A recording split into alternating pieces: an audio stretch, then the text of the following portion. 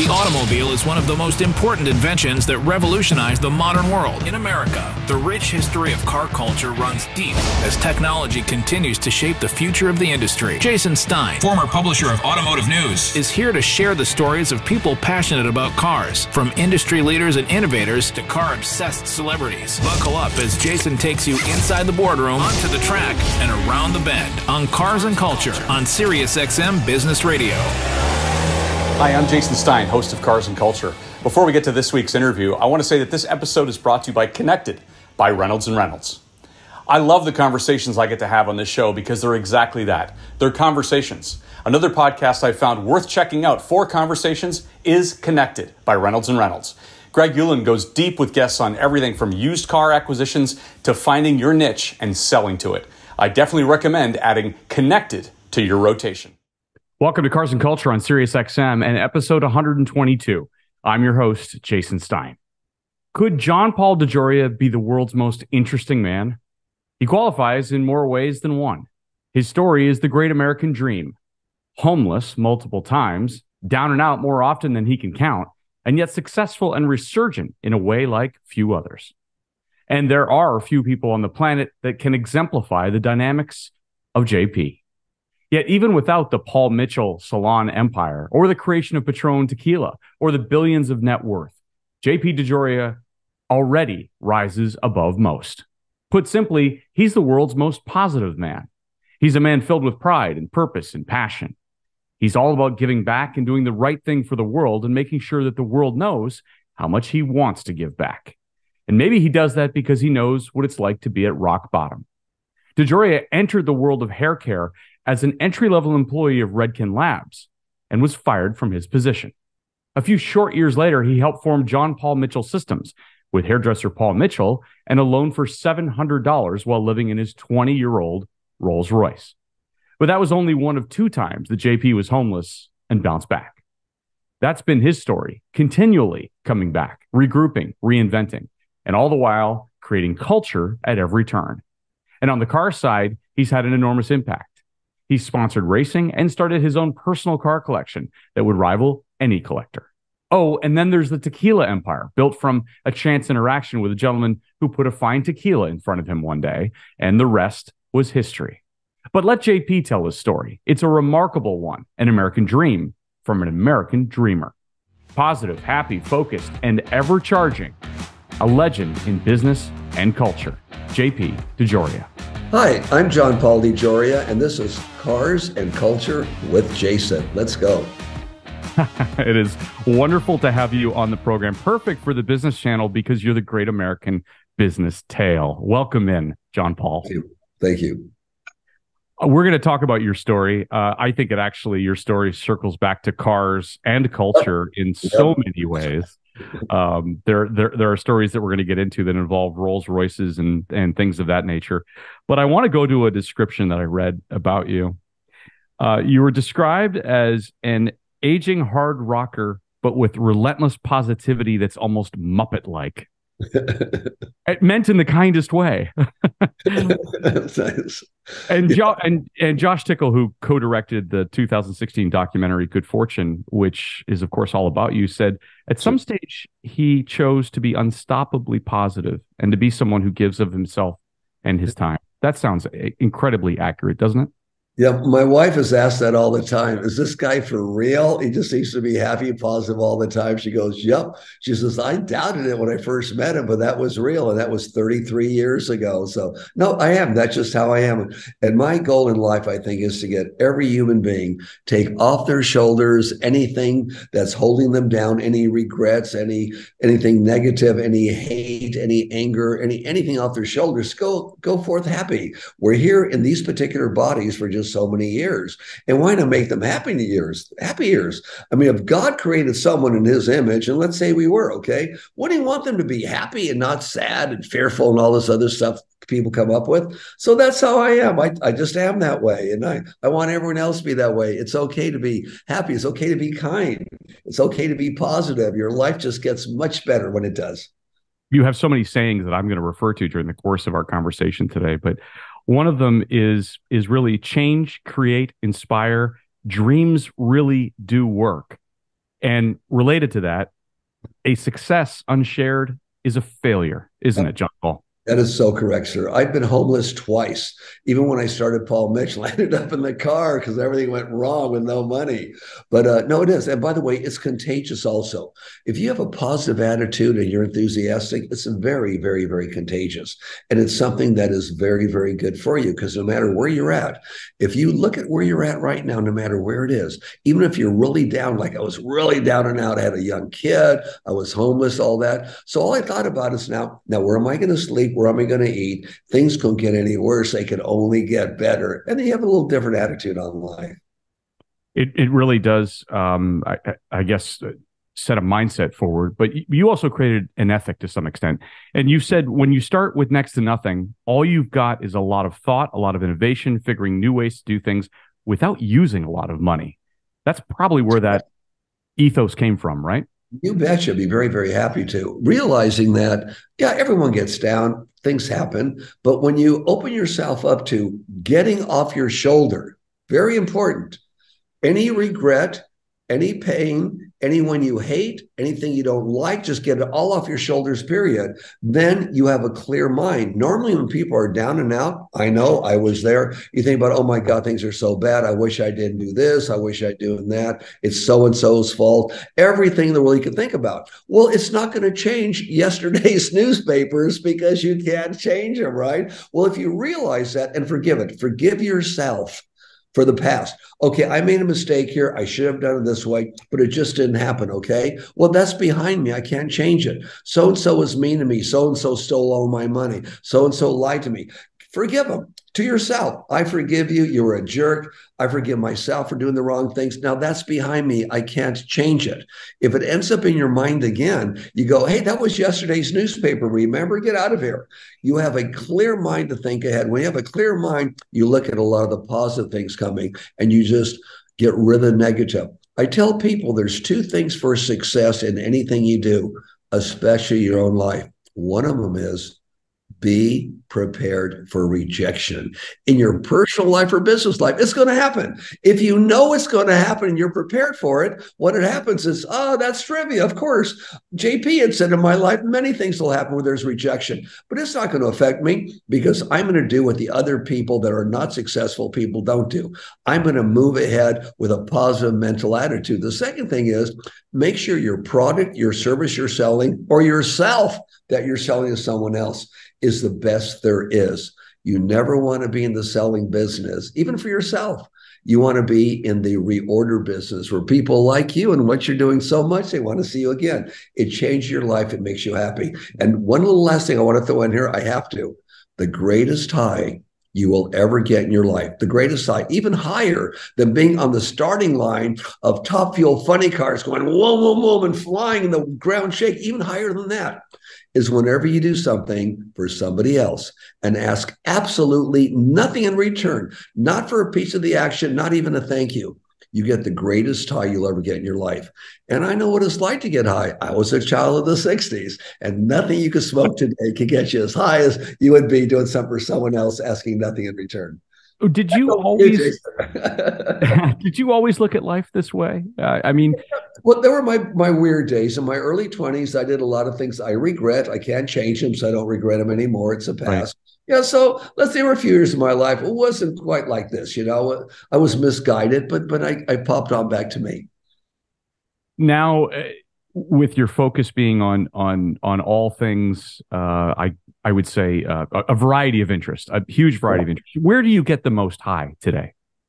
Is it is it from those philanthropic efforts? I'm guessing now, the majority of my life is spent around philanthropic things, whether I'm doing it on behalf of a company, an investment, or just because it's the things to do. That's number one. But I'm still chairman of the board of John Paul Mitchell Systems, and of course with Bandero, I'm you know the number one advisor getting that product out all over the place, as well as you know working in some other areas which are really really exciting. There's some various things with a group called Rocket that we're putting out now, and so I'm looking at various things. I'm also in the medical profession now to find new solutions with vitamins to cure challenges people have had from the past. So I'm pretty well diversified out there, but in a fun way. But in cars, I'm still in cars. In fact, yeah, let's talk about that. We're rebuilding a few things right now. What are you rebuilding? Oh yeah, we're uh, we're collecting uh, from all over the place the old Land Rovers and the old uh, you know cars of that nature. You have your Land Rover, you have the old Toyotas, and bringing them back to the original form. These are ones that are very very old because they're just so cool. We thought, hey, let's bring them back and maybe put an LT Corvette engine in it, you know, or a Hemi, or do something really cool with that. So that's a lot of fun. And of course, I have my own cars I play with. An extensive car collection? Do you have one?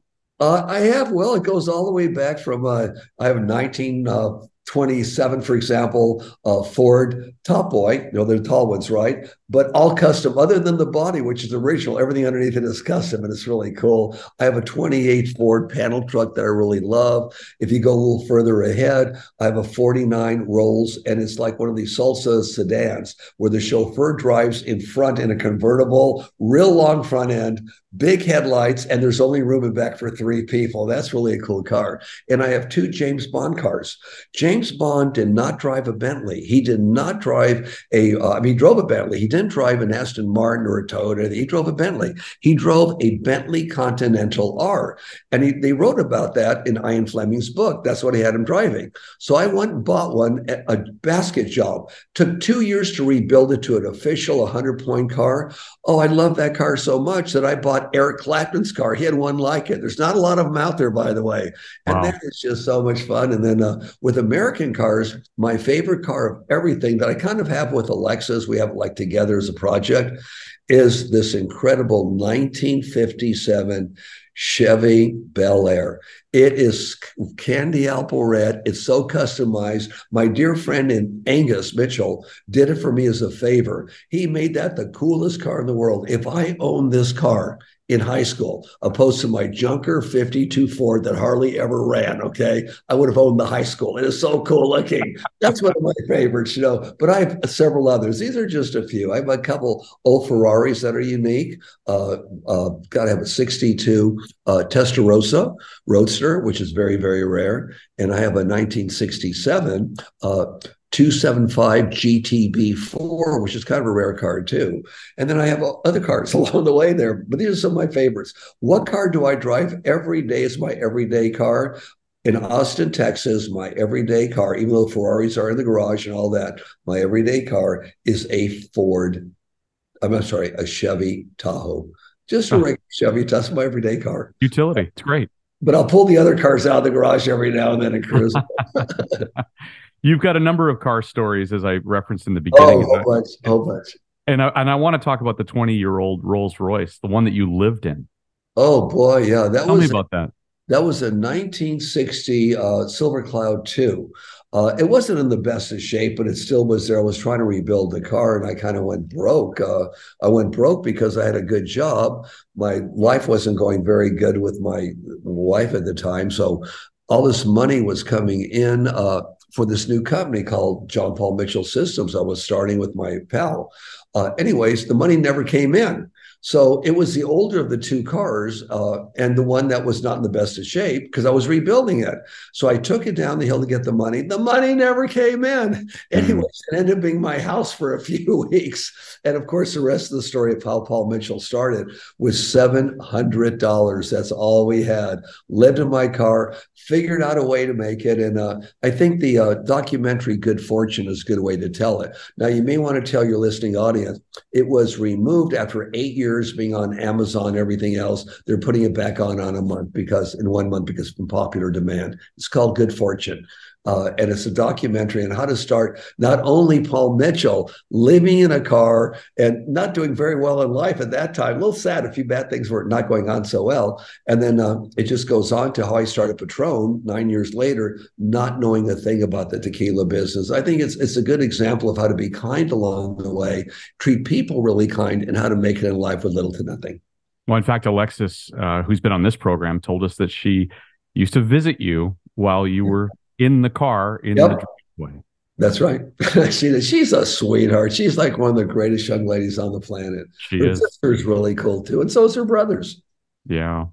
You um you used to be uh, you started off uh, a door to door salesman uh, selling uh, greeting cards. Colliers, not not Colliers and encyclopedias. Door to door. Yep, commission only, no leads. Good With your brother. Program. Right, you and your brother would do that. Yeah, well, my brother and I did newspapers. Encyclopedias was just me. Okay. Did it ever occur to you that at the time that you were selling the books that you would become an entry in the encyclopedia? Nope, not not a clue. In fact, when I graduated, go back a little further from high school, I like cars so much that my ideal job would have been because I had no money for college my ideal job would have been to have a car that or a truck I could just drive all day long and maybe make $150 a, a week. You know, that would be wonderful. I could get by okay and I could drive. I just love driving. The little bit I know that things would obviously would, eh, the American dream came true for me is what happened. America does work. Forget what these stupid politicians are doing in Washington, D.C. Forgive them. They're stupid. I don't know what their agenda is, but it's dumb. Okay. America is good. America is a great country. Maybe Washington people are doing things that are stupid, that are hurting our country, that are dividing people. But look the other way. Be kind to one another. That's politicians putting against one another. Love and be kind to one another. And then the American dream works. If you're sad and angry and blame everybody else and bitch about everything, it's never going to work. Be kind. If you have an enemy, be kind to them. You blow them away. Be kind to somebody you haven't been along with, you'll be amazed how, first of all, they're blown away. Why are they kind to me? I've been mean to them. And they change in most cases. Right. Well, you had an opportunity to, to um, certainly, I don't know, maybe not express a level of kindness given the situation that had happened to you through the years. Let's go back to meeting John Capra and the intro to Red oh, Can. Sure. And, and oh, yes. That. Tell the story about how you got into the into the salon business and the hair business. how it really didn't work now, start. That's a very interesting story to do. First of all, John Capra has been my friend for over 50 years. One of the most beautiful friendships, one of the most beautiful human beings on the planet, along with his wife, Doris. So, anyways, I was working. I used to have pretty good jobs. I'm 26 years old. I'm working for Time Inc. I'm circulation manager of Time for Time Sports Illustrated, Fortune, and Look magazine or Life magazine, I'm sorry. Okay. And what basically meant I ran a big boiler room with 50 people on the phone getting people to resubscribe. So I thought, well, you know, I'd love to be a vice president. So I walked up to my vice president. I said, Excuse me, but what do I have to do to become a vice president? He said, You have no college. I said, Well, that's true. I said, But I'm good at what I do. He says, Yes, and you're only 26 years old. Come back and ask me when I'm 20, when you're 35. I said, That's it. So I went to see a job uh, they call them placement counselors at the time. And that's when I met John uh, Capra. He was a counselor. And I said, I'm really looking for a job right now. I want to excel at different things to do. I'm dead in the water here. So, John, got me one job. If it didn't work out, he got me another one. At one time, because I could do pretty well in sales, he had two jobs at one time so I could save a little bit of money. Unbelievable. And then one day he says, you know, here's an opportunity. You're going to have to take a cut and pay. Uh, and, you know, now, this is going back to uh, you know many many years ago. This is 1975. Uh, I'm sorry, no, 1971. You're going to take a cut and pay. He says, but it's in the beauty industry, professional beauty industry. Even though you're going to make less money, there's no end in sight to what you can make. They don't have some really super sharp people in there, JP. I think you'll do very well. I said, How big of a cut and pay? They said, Well, your base salary now is $850 plus a little commission. You're going to go down to $650 and a car allowance of $125. I thought, What the heck? Let's give it a try. It's only me. I'm single at this point. Let's go for it. And I did. And I worked for this company for several several years. And within a year and a half, I made it up to their national manager of two divisions of the company. They fired me after four and a half years. They that- fired me because I complained about them animal testing. I said, You shouldn't test on animals. You don't have to. We only make hair care products for humans. Test on us. Why are you doing it? They said, Well, we're Redken, the scientific approach, and we've got to have it there as our scientific approach. But it does nothing. They said, JP, you're a manager now, a national manager. Play along with the corporation. Anyways, I go away. I come back two weeks later. Guys, this is wrong. Yes, it makes you look good, but look at these poor little marmoset monkeys. They stay in a cage all day long. They never go outside. It's just not right. How about the quality of our product is what speaks, not the scientific hoopla we put on. And Paula Kent was a very nice lady, by the way. She said, JP, love you dearly. We all do. But man, you are messing up management right now. We have to let you go, JP. You can keep your secretaries for a few weeks. We'll give you a nice severance severance pay, but go on and do something else. And I did. And I worked for this other company. It was a small beauty company called Try. And in one year, I believe I tripled their sales. They came to me and said, JP, we're going to fire you. I said, why? They said, because we found this guy named David Chapman that could do your job for one third the money. I said, but you're only paying me $3,000 a month and 6% on all new sales. They say that's why we have to let you go because your sales are so big. You're making more money than Joe, who's the owner of the company. He was also a small. I said, You're kidding. Anyways, long story short, I left, went to work for a company, Syntec Spot, called Fermodyl. And this is a great story. In one year, there, and I was there to train their whole sales force and upper management and selling and selling techniques. In one year, they went from 8 million to $12 million. They fired me after one year because I just wasn't one of them. I didn't hang out on the weekends. I didn't do every single thing that was unreasonable that Mr. Neil Wallach asked me to do when there was a guy in charge, right? No way. They we're gonna listen, you're not one of us. We're gonna fire you. I said, well, look at all the sales growth. You're fired. They're really, he was mean about it. Anyways, no problem. It was destiny for me, right? So these are three different jobs I had. But why is it leading to this? I thought with my friend Paul Mitchell, a great hairdresser, Paul, let's start our own company. I'll raise the money. So I went out to raise $600,000, $500,000. That's what I needed. So we had the money. We had the money. And we I quit everything I did, even my relationship, left the better car there, took the older Rolls Royce down the hill. and it was a Porsche I left, a nice running Porsche, left her all the money for my daughter and her to last a while, went down the hill, no money, zero. But here's what I want to drive at. That was zero money. It was difficult. We made it. Two years later, when we were able to pay our bills on time, and by the way, that's when we were successful. People say, when were you successful with Paul Mitchell? Two years. Why? Because we paid our bills on time the first time. We didn't pay them off, but we paid them on time and had $2,000 each. Shortly after that, an epiphany came to me. And this is a good thing for all your listeners. Believe in faith. I did a darn good job at Redken. They fired me. I hmm. did a darn good job at Try at Fermodyl. They fired me. If I didn't work for all three companies, I learned something different in each one. I could have never started John Paul Mitchell Systems on $700, let alone $500,000. Each company taught me a different segment of the industry. It's as if a power much greater than I, much greater than I said, Oh, you're going to move on. Nope, you're going to move on. You're going to move on. This is what you're destined to do.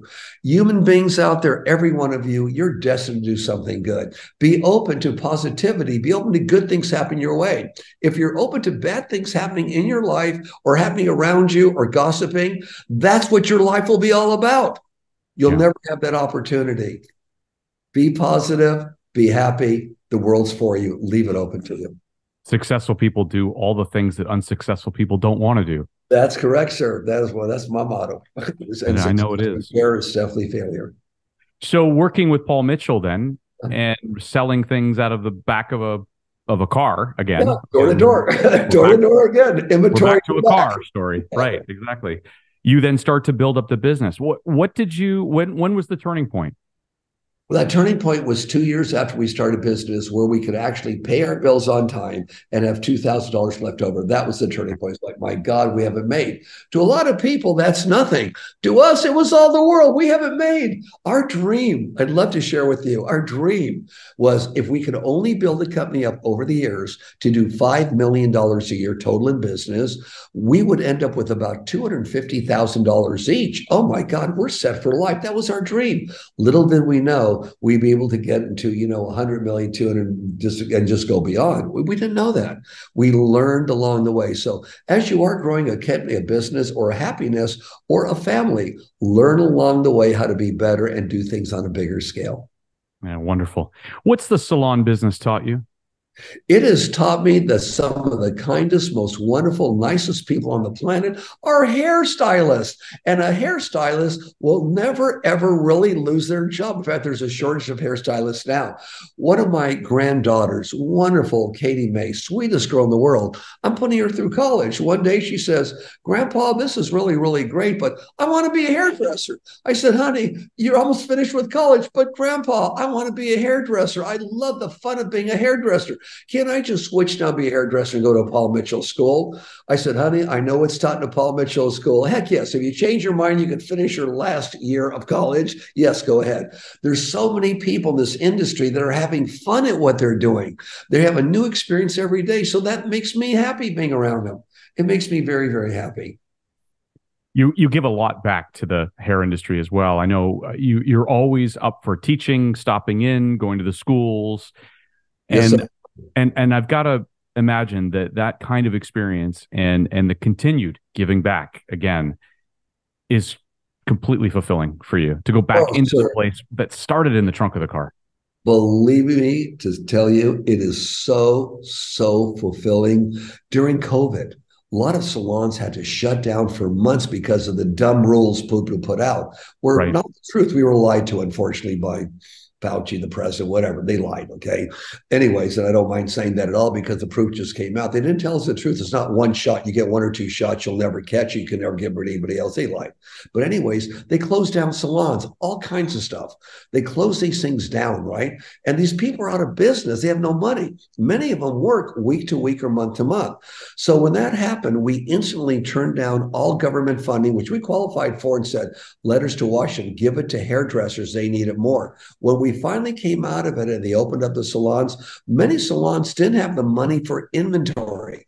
So with my partner Angus, we talked about a little bit. We said, what the heck? Look what they've given us in life. Let's give back.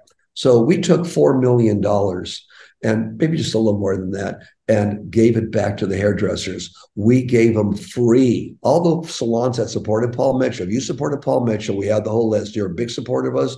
We gave them free back bar product, styling product, everything they needed, shampoos, conditioners to open their doors and go back into business again. So we knew now they have the supplies to go back into business again. And with our distributors, we gave them special dating so they could give the salon special dating on whatever other products they got. Did that make me feel good? That was the best multi millions I ever contributed to somebody because it was wonderful. It helped their lives out. I felt like a million, billion, zillion dollars doing that. So yeah. things like this happen along the way that make people feel good. Before we get back to this interview, I want to say that this episode is brought to you by Connected by Reynolds and Reynolds. If you want to hear great conversations and Greg Ulan going deep with guests on everything from used car acquisitions to finding your niche and selling to it, I recommend adding Connected to your podcast rotation. Now let's get back to my interview. Tell the story about getting into tequila. Why tequila? Yeah, I'm sitting back in 1988, the end of 88, beginning of 89. I just finished a race uh, with my partner Paul, crossing Australia in a solar energy car that we built. It was really fun. I get back, I'm starting to look at building this house for my family, kind of a holiday house on the West Coast. And my builder said, You got to meet this guy named Martin Crowley. He's a good fellow. He lost his money. He's going bankrupt in the hospitality business, but he's a really good architect and designer. I met Martin and said, Let's start a business niche. Martin goes to Mexico. He buys pavers, he buys building supplies, brings them back to architects for their model homes or sells it to restaurants at a very low price from Mexico, furniture, all these things. After one year, we're doing okay, but not so good. So we're sitting at my house at that time and we're sipping tequila. We were going to make margaritas. Well, let's have a shot first. And it was one of those that you kind of hold your breath on. I said, Martin, next time you go down there, find out because you're on your way down to buy some stuff for this place we're going to be building. Now we're early 1989. Martin, go down there and uh, see what they drink, bring back a couple of bottles. And Martin did. They were just nondescript bottles, and it was smooth as, as anything I've ever tasted. In fact, it was the smoothest. He says, But JP, I met this guy named Francisco Alcaraz that can make it smoother. I said, Show me. He brought back a bottle. I said, That's it. I don't know anything about this business. You don't either. So I'm going to buy a thousand cases, which is 12,000 bottles with this guy's formula. And Martin found these bottles made out of recycled glass. That was the same bottles we they use today in Patron. And then we used so recycled uh, uh, uh, uh, paper in order for the packaging and everything else. So I thought this fits into my category. We came back to the United States with it. Nobody wanted to buy it because hmm. it was $37.95 a bottle retail. It costs a lot to make. In those days, the average tequila was about $5. The expensive one was close to $15. So they said it's the best in the world. No one would take us on. Finally, we find a person that only sold wine. We talked him into it. I said, if we could get you Spago's restaurant, which was the number one restaurant in Southern California, and Bar Cantina, if we get you them as customers, would you take it? Even with 2,000, 1,000 cases, anything. You could be our exclusive distributor, we'll hold you sales meetings. They said, okay. But I knew we had it because Wolfgang tasted it and said, I'll take it. He was a friend of mine. He said, JP, this is great. I want to serve it to my celebrity friends. Baja Cantina, same thing with Martin. So we had it. After one year, they only sold a thousand cases. We had to let them go. We took on Jim Beam. Jim Beam, a big distributor, we would put them in the middle. So we had a middleman. They would sell to the big distributors who would sell to the retailers and the clubs and the restaurants. And we thought, whoa, Jim Beam, this is good. After a couple of years, they came to us and said, guys, I know we're only doing 12,000 cases a year now, but I got to tell you, the most you'll ever do is 20,000 cases. You have the best tequila in the world, but it's too expensive. Now it's at 39.95 a gallon. I mean, a bottle from 37. It's just too expensive, guys. So we dropped them. We took on Seagram's. Seagram's took it to 70,000 cases a year. We were happy, but we knew we could do better. So we went to court with Seagram's and paid them. We paid them money, which they justified, but should have got received. We paid it to them. We paid them a lot of money, even took out a loan to pay the money and took it over ourselves. Well, that little company that was never supposed to do 20,000 cases a year maximum. Uh, when I sold Patron about, oh, five years and six months ago, uh, I think with Patron alone, we were doing about 3,500,000 cases, plus the other brands we had, the Another- biggest ever in the history. So, with that in mind, I realized that number one, this is a wonderful area to be in. And of course, I had a five year non compete, which was just up this last April. That's why I joined my girls. So I started Bandero before I left Patron. But they said, you could keep it, JP, but you can't. You have to give it to anybody or sell to somebody. You cannot compete or even do anything with it for five years, which I did. I would, I, I would do that if they didn't even ask me to do it in writing, just out of respect for the money they gave me. And hence, back in tequila business now, again, my daughters took it over with my son, and then I got back in again just in the last couple of months. And I could just say this: Patron is one of the greatest brands in the world, and I'm building definitely another great brand. So I'll have two of the world's greatest brands. Did Clint Eastwood or Tom Cruise and Vanilla Sky help uh, the oh Clint, I'm glad you mentioned Clint, and he, oh my God, and even Cher Clint, oh, if you got time for a quick story, of course. Hey, Clint calls me up. This is Patron's couple years old. I just meet my wife Eloise, who's my wife now, and Clint calls me on the phone one day and says, "JP, are you still going out with that uh, Eloise you introduced me to?" I said, "Yeah, Clint." that I love this girl. I'm gonna get married to her. He goes, Well, here's a way to impress her. I have a new movie coming out where I'm a Secret Service agent in the line of fire.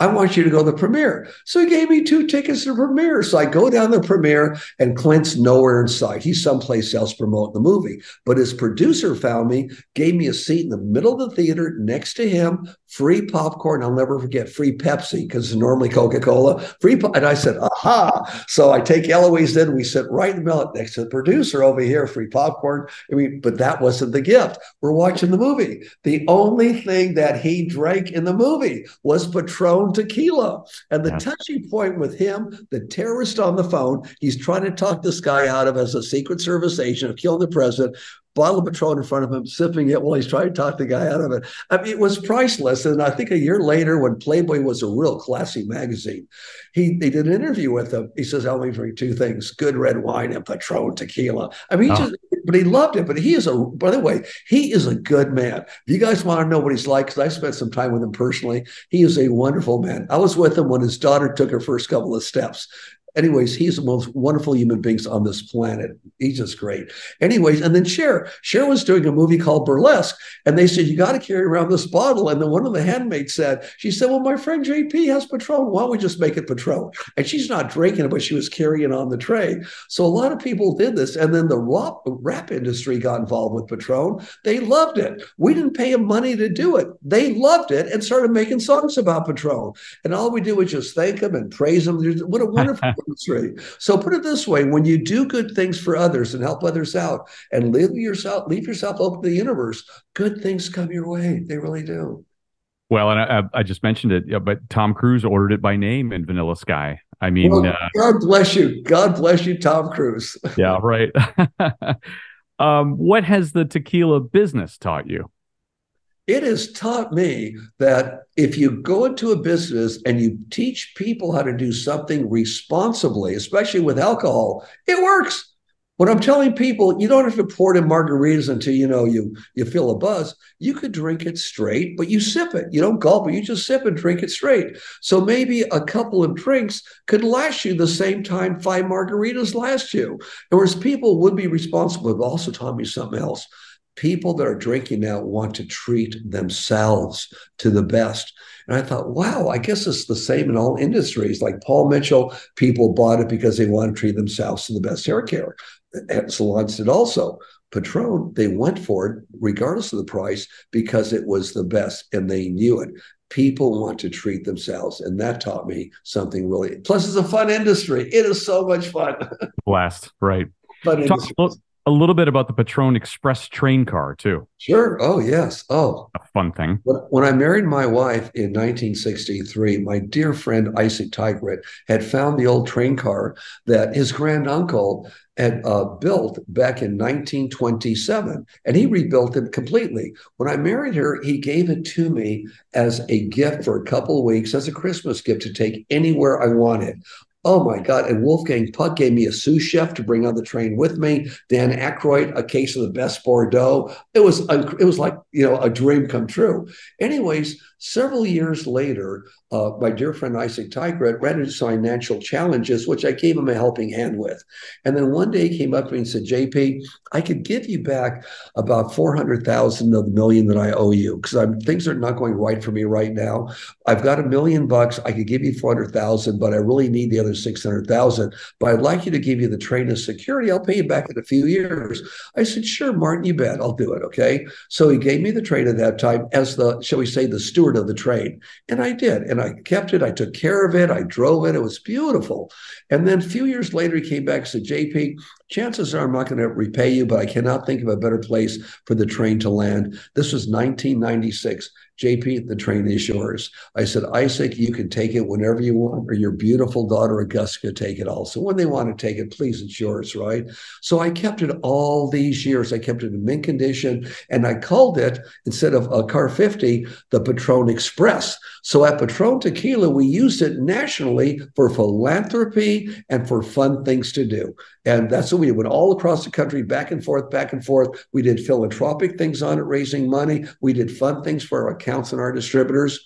About a year ago, Augusta came to me and said, JP, out of all the wonderful things my dad did, he started Hard Rock Cafes, he started the House of Blues, all these wonderful things, had a little bit of bad luck. That's the only thing I could probably get my hands on. JP, can I please buy it from you, whatever the price is, to get it back in the family? Well, that train, the way it was done, was worth several million dollars. Mm-hmm. And I mm-hmm. said, Augusta, and it took me two seconds to come up with this one. I said, Augusta, that's where it belongs. But I'm not going to sell it to you for millions of dollars. Your dad only owed me $600,000. So here's the deal but you got to stick by this deal. You said I could use it whatever I want. Here's the deal. Number one, if I ever use it, I pay for the use of that whole train. Whatever it costs Amtrak, I, I pay for the full use. It does cost you one time. It's number one. Number two is this Augusta, that $600,000 you have forever to pay me back. You pay me back whenever you can. It doesn't have to be a year, six months, 10 years. You do whenever you can, honey. You're doing something so special. It take you 100 years. I really don't care. It's meant to be here. And I so proudly turned the whole thing over to her. Well, my surprise, a week later, I got a check for $600,000. what the heck? Well, her life was going really good, and she was married to a really great guy, and they just wrote the check here. They had a lot of money. I don't even know quite how much they had. So it ended up in the right spot. And all those decades, we used it for Patron. So many people had so much fun off of it, and it was just a great surprise. Out of the ordinary, but wonderful. I wonder if Bandero needs a train next. Well, I was kind of looking at something that I, right I bet you were. Like, oh my God. Okay, Jason. Uh, I'll go back on your show again when I tell you what it is. We're working out the logistics on it now. Deal. so you, ha- you have a deal. You have a deal. Okay. Um, I want to talk about a couple of other things. Uh, you have, as you have said, done some wrongs in the past and have gone back to make amends with those people. Yeah. One story that I love John Paul, is that you got a car fixed and couldn't pay Yeah. and drove off. Yeah. Tell us about that story. magic. Here I am. I have a two and a half year old son. Okay. This is the first time I was homeless in my early 20s, by the way. Yeah. And I ran out of money. And this little car I had was like a little Fiat, right? Was broken, had to be fixed. There was a bill on it for fixing it from this really nice man for about $120. So, and I didn't have the money, but I needed the car. So a friend drove me there, let me and my son out and took off. And I went over there to see the guy. I said, God, it looks good, but how does it run? Is it running good? He goes, Yes. I said, Can I take it around the block? He goes, Of course. So I jumped in the car with my son and I never came back. Mm. Now, this is back in the 1960s, okay? And I never ever came back. Well, when I started making money in the 1980s and I made enough to pay people back, now we're, let's say, 1983, 84, when I started making finally enough money, I found every person I ever did a mis- injustice to, everyone I thought I may have ripped off, and I ran across him because I that was a ripoff. And I went to the old location that was a body and fender place. I mean, I'm sorry, it was a mechanic place that turned into a body and fender place. I said, "Excuse me," introduce myself. I said, going back about you know 40 some odd years, however long it was, there was a, a, a gentleman here that was fixing cars. Uh, you know, as he specialized in foreign cars. Any idea of whatever happened to that man? Because he must be up there in age now. He goes, "Boy, is this your lucky day? He's my landlord." He's the oh, landlord. He got out of business you know, 30 years. The landlord, he's here. So He's I walked here. him. I said, Excuse me, sir. I said, My name is John Paul DeJoria. He goes, Well, nice to meet you. I said, Sir, I want to tell you a story going back several decades. I said, If we go back several decades, sir, there was a young man in here once with a young boy, and you had fixed a Fiat, and they wanted to take it for a drive, and they never come back. He goes, I remember, I remember. I could not figure out why. There was a nice boy. He was such a nice man. I said, Sir, I'm that nice man. Okay. I was down and out. I needed it so badly. And I'm just in search now to make everything right. So I handed him 10 times the amount of money, which was about uh, $1,200. I just handed it to him in cash. I said, Here, this is yours. It should take care of the. He says, No, I can't take it. You made my day. He started crying. He was so happy. I said, No, sir. You would make my day if you took it. If you didn't take it, you would make my day. Make my day too, please, first. We hugged each other. We talked for a while and just talked about how wonderful life is. And uh, it, boy, I could have walked on water after that. I'm not saying I'm Jesus or anywhere close, but I mean, I felt like, wow, you know, this is really cool in life. That was a beautiful experience for me. And the only one I regret was one fellow I searched for for years. And I even had private investigators, even part of the government did it for me as kind of a favor because they were able to without violating any laws. Try and find this guy. I didn't find him till eight years after he died. This was about four years ago. I finally found him. And when I found him, unfortunately, he was married, and a couple of children, and it was eight years prior that he died. I mean, I want to say, Michael Davenport, I'm so sorry for everything that's happened between you and I. We were the best of friends. I was in the wrong. You were not. I'm deeply sorry. I want to buy you a car. What would you like? It's your choice, right? That was my only regret. I didn't get to him enough and quick enough but I got to everybody else that I ever did anything wrong to, and I made it right one way or another. Well, goosebumps on the radio here. So the so the thing for the goosebumps and your audience is this: if there's anyone you wanted to say, I'm sorry for doing this to you, or I regret doing this. First, forgive yourself and forgive them, but tell them now. If there's anyone you truly love, tell them now, I love you so much because you never know when it's going to be too late. Go ahead and do it. Jeez.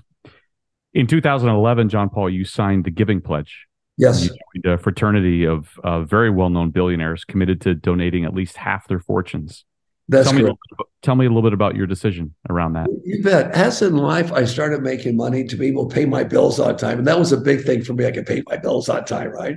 And I started making money and I made so much money. It was like, wow, I love contributing to various causes. Like I'm probably one of the biggest contributors to homelessness. I built help build communities for the medical centers. I mean, really big time because I was there, you know, I know it. So I got a phone call from uh, Warren Buffett. And says, John Paul, I got over your number. I've heard that you're just giving for years to all these causes and just giving, giving, giving, trying to help them out. And, you know, you're, you're doing very well in life right now. And my God, this is wonderful. Uh, Bill Gates and I want to invite you to a small dinner. There'll be 12 of us there. It'll be in Dallas, just north of your town. Please come up. I thought, oh, what the heck? I never met Warren before, never met Bill. So we came on up to listen to what they were doing. And what they were doing was what I was already doing, giving to people with an end result. We don't give the money away. We don't say, here, here's a giveaway. We don't give people hands out. We give them a hand up. Whatever we do must have long term results, is what we look at. And that's how we do it. I said, guys, this is so easy for me to do because what the pledges is this we pledge during our lifetime or after we die or a combination of the two. We'll take half our wealth and give it back to make the world a better place to live. Most of us are doing it now while we're alive and a big hunk after we die. We're doing both, most of us, right? It was perfect. So once a year, we go to meetings, and in the meetings, we don't try to hustle anybody for our charities or anything else. It's just a group of billionaires that get together. Most everyone's a billionaire. There's a couple in there that aren't quite billionaires, but they will be. I think there's about 170 of us right now, mostly Americans. So for those people out there that say that 1% take their money, take their money, give it to us, spread it out. Bad words, bad words, okay? Know that there's over 170 of us that made it, but know about what it's like not to make it. And we are giving so much. I mean, I'm giving millions away. Not only my companies, but my own little family foundation gives away millions every year. We're giving back to help people get a hand up. We're not only helping people that are homeless, like Community First, which is in Austin, Texas, as part of Mobile Loaves and Fishes. We're creating things. We created woodshop metal shop, auto shop, even an entrepreneur center. And they're saying we're homes, 2,000 homes will be created. We have 500 now for homeless people to give them a chance. And you're saying, well, why are you doing all these shops? They're homeless. They don't want to work. Uh, uh, uh. I may have put a million and a half dollars into an entrepreneur center there for them.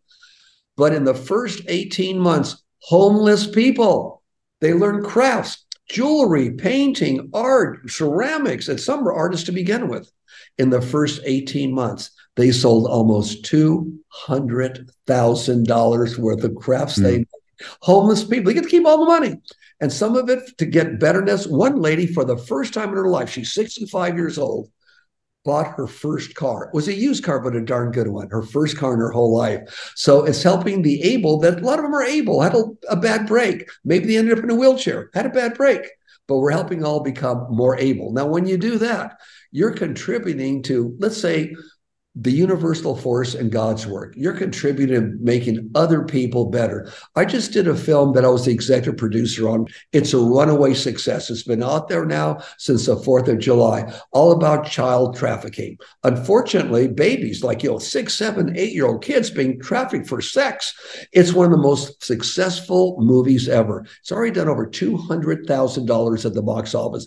Some hmm. theaters didn't want it. No, it's too controversial. Don't show that. We don't want people to see that but it's true. We want to show you how we busted an entire ring. It's true. It's all over the United States and the world. And there's a lot of politicians and a lot of high priced people out there that are involved in this stupid thing buying God's children. God's children aren't for sale. This movie exposes it all. So all of a sudden, people would tell people they'd buy tickets for other people to come and see it. They couldn't afford to see it. And it was just revolutionary. And it's just now coming out of the theaters. It'll go to streaming, and now it's going to go to at least 23 countries in the world. So Congratulations. people to do wow. things like this to make people better off. And when I invested the money, I gave them the money to start off with this. Hey, here's the first million bucks. Go for it. I didn't do it to get any money back. I got it to get a message out. We had no idea we'd make money off it, not a clue. Every dime I make off of it is to go back to something to save children. Every dime. One final story about when you were a child. I want you to tell the story of your mother yep. and the Salvation Army kettle and the dimes. So proud of mom. It's got me started we had a deadbeat dad. My mom was an immigrant. She came over on the boat from Greece, and uh, we didn't have any money. My father at that time was in the military, uh, and this is the 1940s, but a deadbeat dad. Uh, so I didn't have a father before I was two years old. Uh, they divorced, and uh, it was just my mom, my brother, and I. Uh, and my mom was one of the wonderful ladies on the planet. And even though from five years old to nine years old, I was in a foster home during the week because she was sick. She had to work and was sick. She couldn't take care of us. So we would see her every weekend. Well, at Christmas time, we were always with her. She took us to downtown Los Angeles. We leave in Echo Park, and by trolley car, it was five cents for the trolley car. We trolley cars then. They got rid of all the tracks. Anyways, we went downtown and we went to this one corner near 7th and Broadway, where within a block they had a May Companies, a Bullocks, every major department store. LA downtown was different in those days. It was the place to go. Trains going around in circles, puppets. Oh, my brother and I thought we were the luckiest kids in the world. We got to see all this. Mom gave us a dime. We're little kids. She says, Boys, you share this dime in your little fingers. Go there and put in the bucket with the fellow ringing the bell. So we did. And then we went back and said, Mom, now, by the way, this is 1950, 1951. We said, Mom, why do we give them a dime? Because in those days, it was two soda pops or three candy bars. Why do we do that, Mom? You know, that's a big deal for us kids, right? They said, Boys, and we didn't have much money. She said, that's the Salvation Army. And there are people that don't have a place to live or food to eat, and they take care of them. She says, Son, we don't have a lot, but we gave something. Always remember in life, there are people that have less than you do. Whether the circumstances are true or not, they're still there. We've got to do something. We could do a dime, but we did something this year, son. Never forget that. And wow. it's with me. It stuck with me. Great mom. John Paul, you are an inspiration in many ways. We could fill multiple shows just talking to you. And we will have you back on when you well, make. I'd love to talk to you. We're just getting going. We're just getting going. We're just getting going. Thank you. Thank you for being on, thank you for being on Cars and Culture. love and Thank- happiness to your group. Thank you so much. I really appreciate it. I'll get you that bottle of Bandero. Let us have your address. Okay. Thank you. Thank you so you. much. Bye, guys. Thank you. Thank you all. I want to thank my guest again today, American entrepreneur John Paul DeJoria. And to see my interview with him, go to the Cars and Culture YouTube channel. Like and subscribe to see more than 120 interviews and nearly a thousand videos. I'm Jason Stein. We'll see you down the road.